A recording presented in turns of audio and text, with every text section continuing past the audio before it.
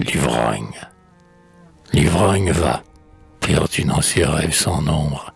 D'un disciple pensera, il ne sait d'où. Et d'étranges lueurs de sa cervelle sombre sillonnent les coins noirs et les espaces nus. C'est une éclosion de bonheur inconnu, fait d'à peu près certain et douteux comme l'ombre. Hasard émergeant d'une rose pénombre, d'impossibilités belles comme Vénus. Pendant qu'il s'émerveille à suivre dans son âme les flottantes couleurs et les contours de flammes, du songe magnifique, éblouissant et cher. Les angles de trottoir, les volets de boutique, comme des chiens goulus en vain happent sa chair. Lui sourit vaguement d'un sourire extatique.